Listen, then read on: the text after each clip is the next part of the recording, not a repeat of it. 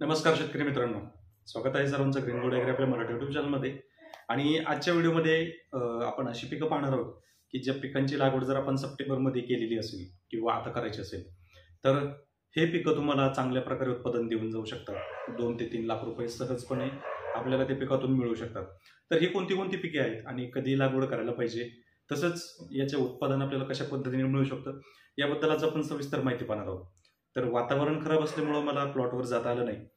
तर त्यामुळे हा असाच व्हिडिओ बनवत आहे. तर ज्या शेतकऱ्यांनी अजून आपल्या चॅनलला सबस्क्राईब केलं नसेल त्यांनी सबस्क्राईब करून घ्या. सोबत नोटिफिकेशन बेल प्रेस करा. म्हणजे आलेल्या व्हिडिओचं नोटिफिकेशन तुम्हाला मिळेल. तर मी तुम्हाला ते पाच ते सहा प्रकारची अशी पिकं सांगणार आहे की जी आता जरी लागवड केली तरी तुमचा पैसा होऊ शकतो आणि चांगल्या पद्धतीने होऊ शकतो. तर यामध्ये पहिलं पीक आहे मेथी. तर पहा मी तुम्हाला एक मागच्या पंधरवड्यात पण व्हिडिओ दिलेले होते. तर त्यामध्ये सुद्धा सांगितले होते की काही पिकांची त्यातली त्यात मेथी. या मेथीची जर लागवड केली तर मेथी ऑक्टोबरमध्ये विकताना खूप महाग जाऊ शकते. याचं कारण असं आहे की परतीचा जो पाऊस आहे किंवा गणपतीच्या शेवटच्या पिरियडमध्ये जो पाऊस सुरू होतो हा पाऊस खूप जास्त प्रमाणात असतो. आणि या पिरियडमध्ये जो शेतकरी आपला माल सांभाळतो त्या शेतकऱ्यांचं मात्र सोनंच होतं. तर आज आपण पाहतोय की खूप जास्त पाऊस होतोय. ज्या शेतकऱ्यांनी मेथी टाकली होती आणि व्यवस्थित व्हिडिओ पाहिला नव्हता त्या शेतकऱ्यांचा मात्र आज तोटा होतोय. कारण का? तर मी त्या व्हिडिओमध्ये सुद्धा सांगितलं होतं की आपल्याला जी जमीन पाहिजे ही पूर्ण उताराची जमीन पाहिजे. की ज्या जमिनीमध्ये पाऊस किती जरी झाला तरी पाणी लगेच बाहेर निघालं पाहिजे. तर हे न ऐकल्यामुळं आता काही शेतकऱ्यांना अडचण येते. कारण शेतामध्ये पाणी साचतंय किंवा पावसाचा इतका टपोरा थेंब पडतोय की त्यामध्ये ते पीक सर्वाईव्ह करू शकत नाही. तर मेथी पिकाचा ऑक्टोबरमध्ये भरपूर प्रमाणात रेट जास्त वाढणार आहे. आणि अशातच ज्या शेतकऱ्यांकडे मेथी आहे किंवा ज्यांनी लावली त्यांनी सांभाळा. निश्चितच कमीत कमी तीन ते चार लाख रुपये सहज आपल्या मेथी पिकाचे होणार. तर आता दुसरं जे पीक आहे तर हे आहे कोथंबीर. आता कोथंबीरीचं सुद्धा तसंच आहे. आत्ता जरी लागवड केली तरी हरकत नाही. कारण मुळात या पावसामध्ये आपला जे धना आहे तर हे टिकणं मुश्किल आहे. परंतु जो शेतकरी सांभाळेल त्याची मात्र पुन्हा एकदा ऑक्टोबर महिन्यात चांदी आणि सोनं दोन्ही होणार. कारण आपण गेल्या जवळजवळ चार वर्षापासून पाहतोय ऑक्टोबर महिन्यातल्या ज्या शेतकऱ्यांची को कोथंबीर विकते त्या शेतकऱ्याला कमीत कमी एकरी पाच लाख रुपये होतात. पण एकरी पाच लाख रुपये सोडा एक दहा टक्के शेतकरी असे असतील की त्यांची किंमत दोन ते तीन लाख रुपये सहज होऊन जातील. असं सांगत नाही की प्रत्येक शेतकऱ्यांचे होतील परंतु जो शेतकऱ्यांचा माल टिकेल त्याला निश्चितपणे तो रेट मिळेल. त्यानंतर आपलं तिसरं पीक आहे गवार. आता गवार आहे हे असं पीक आहे की ज्याला बारामाही मार्केट आहे आणि कधीही आपण लागवड करू शकतो. आणि या पिरियडमध्ये सुद्धा खूप जास्त मागणी राहते. कारण का? तर आता गणपतीचा पिरियड झालाच. पण आता पुढे परत नवरात्र आहे पितर पाठवे तर याच्यामुळं रेट भरपूर वाढतो.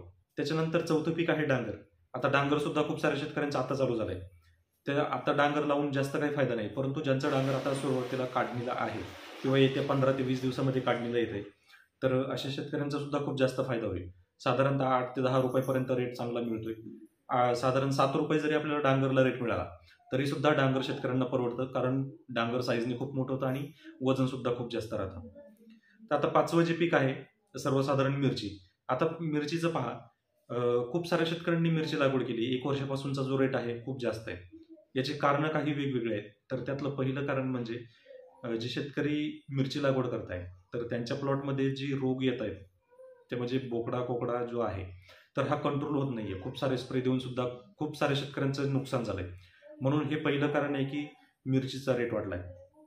दुसरं कारण असं की या पावसाळ्यामध्ये आपल्या पूर्ण देशभरात एवढा जास्त पाऊस झाला आहे की चांगल्या चांगल्या राज्यामध्ये सुद्धा पूरग्रस्ताची वेळ आली. आणि अशा परिस्थितीमध्ये मिरचीचं उत्पादन घटलंय. म्हणून मिरचीला रेट जास्त मिळतोय. त्याच्यानंतर तिसरं कारण म्हणजे आता मिरचीवर एक आणखी नवीन थ्रिप्सचा प्रकार येतोय जी काळी थ्रिप्स आहे. तर ती इथे फुलावर बसते आणि डायरेक्टली ते जे फुल आहे तर हे फुलच पूर्णपणे नष्ट होत आहे म्हणजेच याचा उत्पादनावर पूर्ण फटका बसतोय. एखाद्या प्लॉटवर जे थ्रिप्स आले तर हे थ्रिप्स पूर्ण प्लॉटचे प्लॉट बसवतात. म्हणजे हे तिसरं कारण. यामुळं मिरची लवकरात लवकरच आपल्याला शंभर रुपयापर्यंत जाऊ शकते याची दाट शक्यता आहे.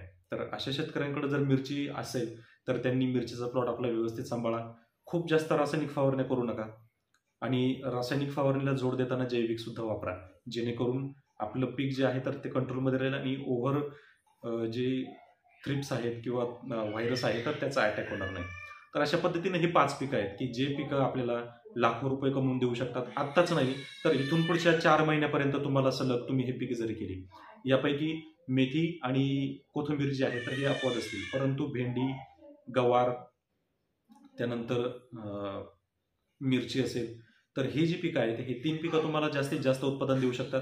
त्यामध्ये चौथं पीक आपलं वांगी लागवड आहे. वांगी लागवडीचं तर तुम्हाला मी कंटिन्युअसली सांगतच असतो. म्हणून या व्हिडिओमध्ये वांगी लागवड सांगितले नाही. तर या पुढचे जे च- चार ते पाच महिन्यांची पिकं चालणार आहेत कमीत कमी. तर यामध्ये वांगी भेंडी भेंडी आणि गवार या तीनही पिकांना चांगले रेट राहतील मिरचीला पण राहतील.